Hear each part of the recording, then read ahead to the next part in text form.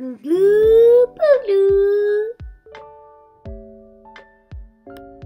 guys, I'm in Collingwood right now, and I what do we have here?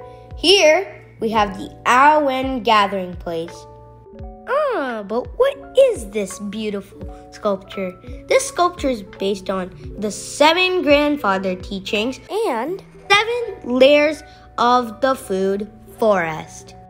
The seven grandfather teachings are an ancient Anishinaabe teaching which talks about the ethics and proper behavior and the good way of life.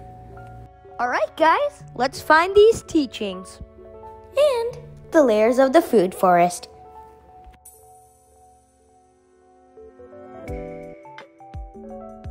Just to tell you, all of these teachings are written in the ancient Anishinaabe language, but we're going to learn them in English. So let's start.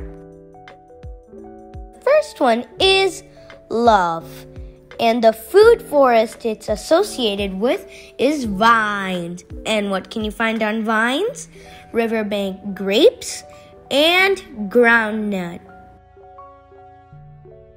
Now we have humility. And this is associated with roots and tubers, and you can find roots and tubers like wild onion, wild garlic, and American ginseng. Next is honesty, and the food layer is herbaceous. Some examples for of this species are wild strawberry and sorrel. Now this one is truth. And food layer is a ground species, and it includes some examples are mushrooms and poison ivy. This one is respect, and the food layer for this one is shrubs. Some examples are blueberries and raspberries. This one is bravery. And the food layer is understory, like apple tree and choke cherry tree.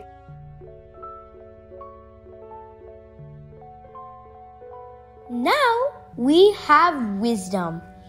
And the food layer associated with it is maple, beech, walnut, and hickory.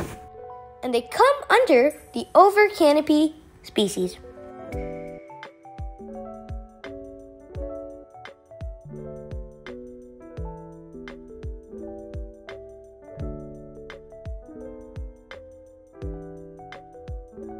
Thanks for watching and also show support by subscribing my channel and also following me on Facebook and Instagram. Bye bye.